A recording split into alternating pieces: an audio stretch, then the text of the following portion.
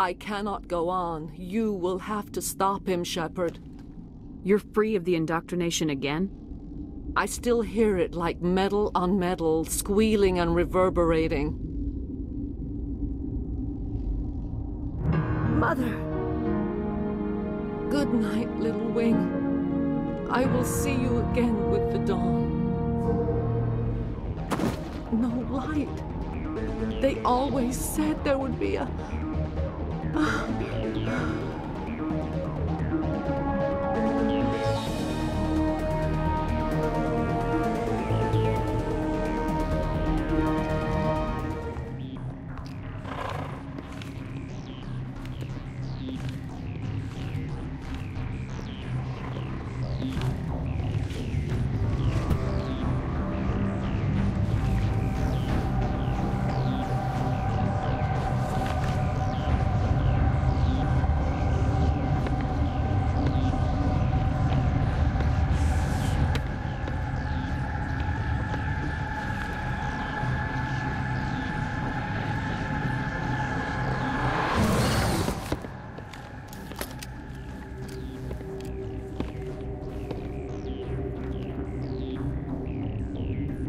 This one serves as our voice. We cannot sing. Not in these low spaces. Your musics are colorless. Musics? What? Your way of communicating is strange, flat. It does not color the air. When we speak, one moves all. We are the mother. We sing for those left behind, the children you thought silenced. We are Rachni. How are you speaking through her? Our kind sing through touchings of thought. We pluck the strings, and the other understands. She is weak to urging. She has colors we have no names for. But she is ending. Her music is bittersweet. It is beautiful. You are not in harmony with those who hoped to control us. What will you sing? Will you release us? Are we to fade away once more? The Rachni were a threat to the galaxy. Those tanks are filled with acid. If she gets out of hand, they dissolve her. They made a mistake. They let the Krogan go too far. This is a chance for us to atone. She has done nothing to us. Your companions hear the truth. You have the power to free us, or return our people to the silence of memory. If I let you live, would you attack other races again? No, we... I do not know what happened in the war. We only heard discordance, songs the color of oily shadows. We would seek a hidden place to teach our children harmony. If they understand, perhaps we would return. I won't destroy your entire race. You'll go free. You will give us the chance to compose anew? We will remember. We will sing of your forgiveness to our children.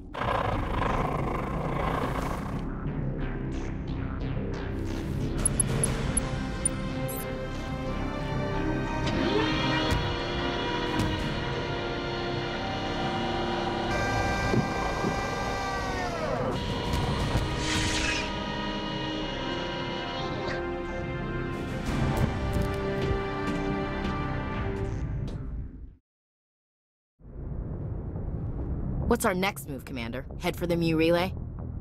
The Mu Relay could link to dozens of systems. Unless we know exactly where Saren's going, we'd just be wasting our time. The commander is right. We cannot rush off blind. We still need to learn more about Saren. Who put you in charge? Did the commander resign when I wasn't looking? We're all on the same team here, Williams. She's just trying to help. Sorry, Commander. Look, this is a tough mission. We're all on edge. Everyone go get some rest. Crew dismissed. Noveria report is away, Commander. You want me to patch you through to the Council? Patch him through, Joker. Setting up the link now, Commander. Is this report accurate, Commander? You found Rachni on Noveria? And then released the Queen. Do you have any idea what you've done? How many generations until they overrun the galaxy? This queen is different. She understands why her kind had to be wiped out last time around. I hope you're right, Shepard. Our children's children will pay the price if you're not. We'll be waiting for your next report, Commander. Your ship's amazing, Shepard. I've never seen a drive core like this before. I can't believe you were able to fit it into a ship this small. I'm starting to understand why you humans have been so successful. I had no idea Alliance vessels were so advanced. The Normandy's a prototype, cutting-edge technology. A month ago, I was patching a makeshift fuel line into a converted tug ship in the flotilla. Now, I'm sitting on board one of the most advanced vessels in Citadel space. I have to thank you again for bringing me along. Traveling on a vessel like this is a dream come true for me. I had no idea you found ship technology so interesting. It comes with being a Quarian. The migrant fleet is the key to the survival of my people. Ships are our most valuable resource. But we don't have anything like this. We make do with cast-offs and second-hand equipment. We just try to keep them running for as long as we can. Some of the fleet's larger vessels date all the way back to our original flight from the Geth. I can't believe your fleet's still using ships that are three centuries old. They're constantly being repaired, modified, and refitted. They aren't pretty, but they work. Mostly. We've tried to make ourselves as independent as possible on the flotilla. Grow our own food, mine, and process our own fuel. But some things we just can't make on our own. A patch to maintain the hull integrity requires raw materials we just don't have. That's why our pilgrimages are so important. I should go. See you later.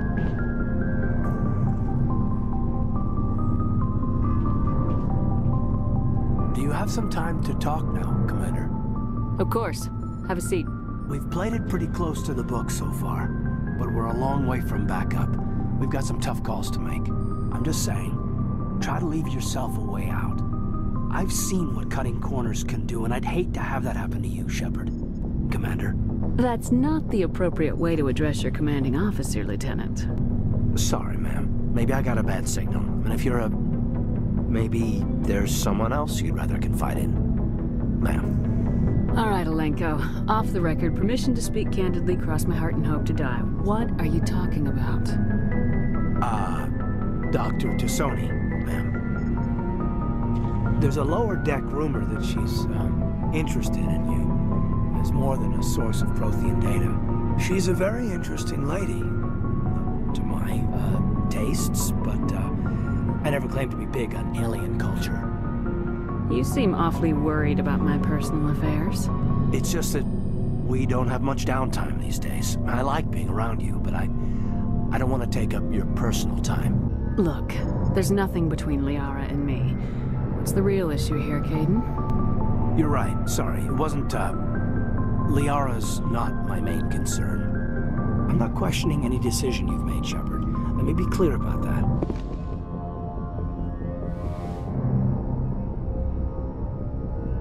If you are here to talk about Benezia's death, you need not bother. She brought it upon herself. Don't pretend it doesn't bother you. She was your mother. She was. But she was not. I prefer to remember Benezia as she used to be, before she was corrupted by Sovereign's power. The best of your mother lives on in you. Her determination, her intelligence, her strength. That is kind of you to say. I appreciate your concern, but I am fine. Benezia chose her path, just as I have chosen mine. I am with you until the end, Shepard. Maybe we could pick up where we left off. You were telling me about your interest in the Protheans.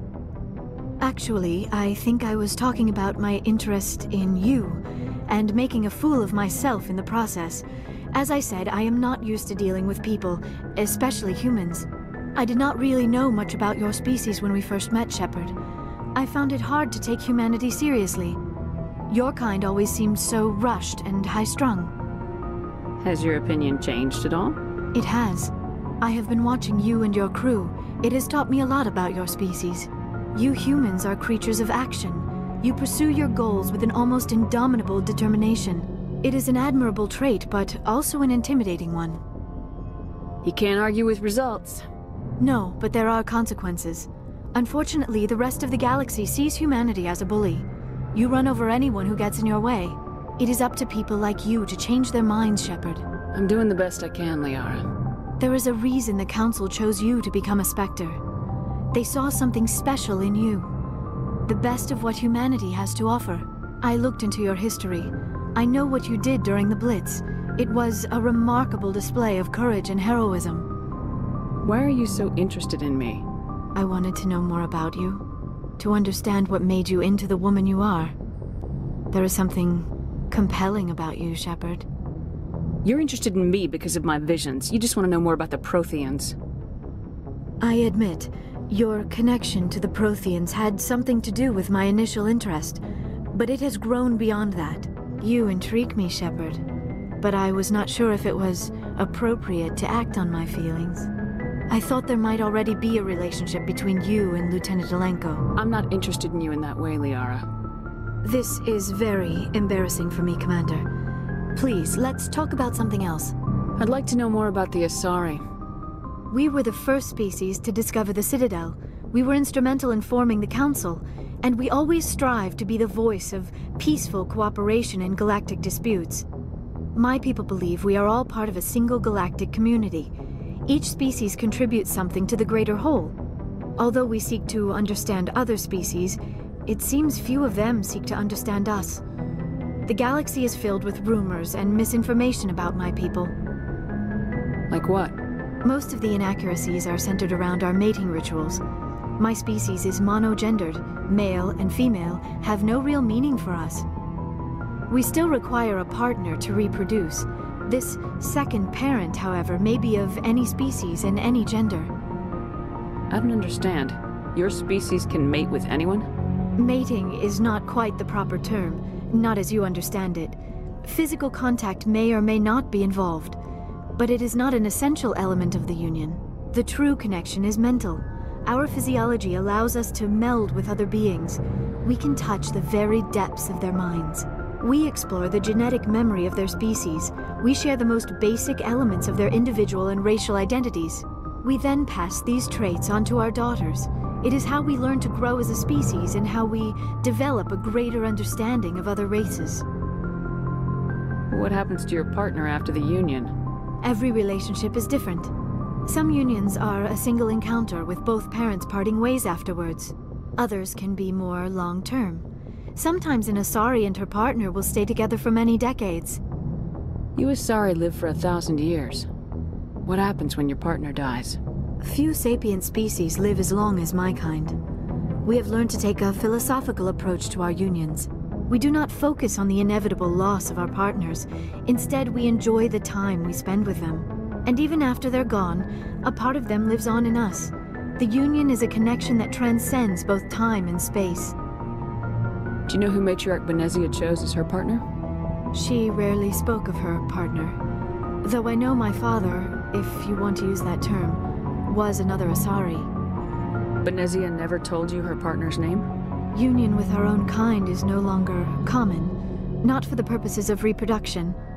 Most Asari believe it weakens our species.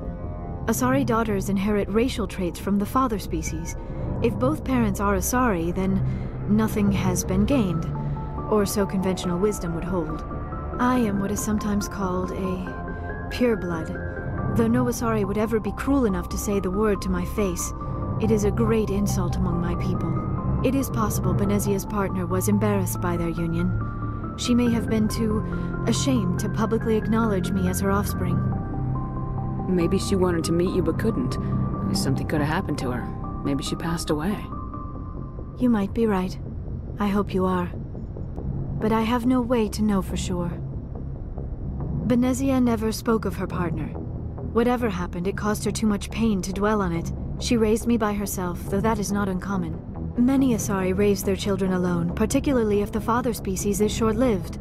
Often the partner will pass on long before the child reaches maturity. I should go. Goodbye, Commander. Commander, how are you? Why did you want to be a C-Sec officer in the first place? Hmm, that's a good question. There were several reasons, I guess. Like what? Probably the same as most officers. I wanted to fight injustice, wanted to help people. I guess my father had something to do with it too. He was C-Sec, one of the best. I grew up hearing about his accomplishments or seeing his picture on the vids after a big arrest. He's taking my resignation pretty hard. That's tough. But you'd think he'd be impressed you're going after Saren. My father's a C-Sec man to the bone. Do things right or don't do them at all, he says. He thinks I'm being too rash, too impatient. He's worried I'll become just like Saren. He actually talked me out of becoming a Spectre when I was younger, for the same reasons. You were asked to be a Spectre? Well, I was targeted as a possible Spectre candidate, me and about a thousand other Turian military recruits. I could have received special training, but my father didn't like it. He despises the Spectres. He hates the idea of someone having unlimited power with no accountability. He wouldn't like you, Commander. No offense. Not all Spectres are like Saren, you know. Of course not. But Saren's not going to play by our rules, C-Sec's rules. If you want to nail Saren, you need to send someone who isn't restricted by policies and procedures. You're a quick learner, Garrus. We'll beat him at his own game. It's the only way to stop someone like him. I'm right behind you, Commander. Do you have a few minutes to talk? One-on-one? -on -one? Sure. I was just watching some mail from home. Oh, before I go, we saw Kaidan in a news vid about the Normandy. He's cute. Later, sis. Let's pretend this never happened. Are you interested in the Lieutenant Chief? No, ma'am. And anyway, Scuttlebutt says he's already sweet on someone. What's up? You didn't come by to eavesdrop on family mail. Your family seems to be important to you. Yeah, we've always been close. Me and my sisters especially. With Dad on duty so much, I had to help Mom raise them. I was an only child, but I get the idea. At least one of my parents was always on duty. Yeah, military families, eh? With schedules like that, it's a wonder we ever have kids anymore. Things were tense between Sarah and me for a while. Then we bonded. Sounds like a story. Feel like sharing? Sarah got herself a boyfriend who wanted to go faster than she did, Mike. I didn't think he was a bad kid, just pushy. Lynn would send me these worried vid mails, and I'd tell her to relax. If he really liked her, he wouldn't be pushy. Yeah, of course, if he didn't ask at all, I'd wonder if he thought Sarah was ugly. damned if you do, damned if you don't. Mike thought they'd go for a romantic walk in the woods, because he figured it was past time they did the deed. She levered Mike face first into a tree and left. Didn't have a scratch on her.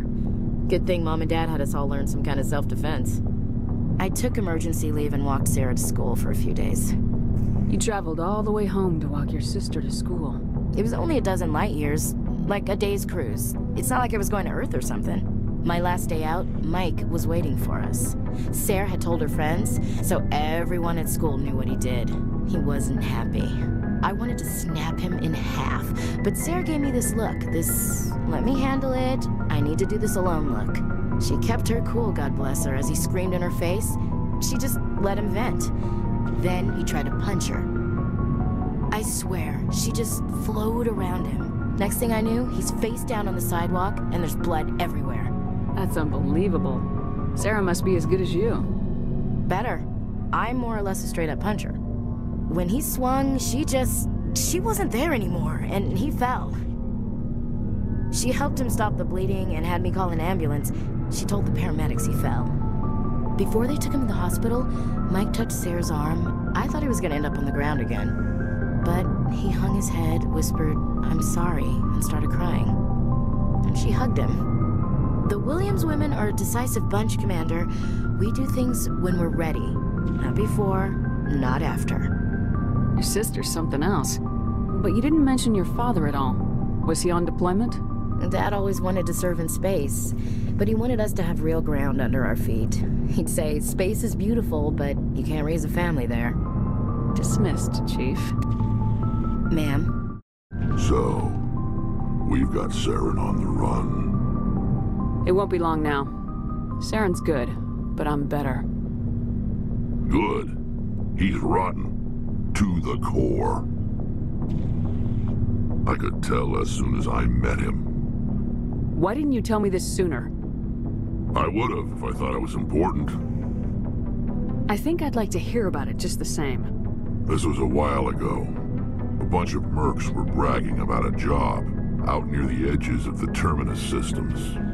Said it paid well and the boss was never around to ride them. They said he was looking for more men, too. So I checked it out. I didn't know Saren was openly recruiting mercs. It wasn't that open, and he only showed his face once. We'd been raiding ships in the area for months when we took out this massive cargo freighter.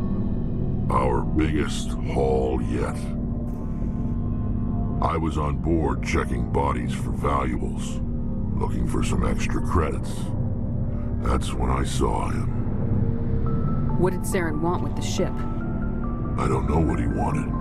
He was just moving through the ship, watching. A Couple of the mercs called him by name, but he never spoke to them. Never spoke to anyone. I had a really bad feeling about him, so I got the hell out. Didn't even wait to get paid. Whose ship was it? It was a Volus trading vessel. Big one. Lots of guards. But they were no match for us. What kind of cargo was the freighter carrying? What was Saren after? I don't know. All I saw on that ship was food and medical supplies. There were some basic weapons, but nothing big. If there was anything of value on that ship, I didn't see it. That's why I didn't mention it sooner. That's the only time you saw him? Yeah. Didn't even know who he was. Still wouldn't if I hadn't joined up with you. But my instincts were right. Every other merc on that mission turned up dead within a week. Every damn one.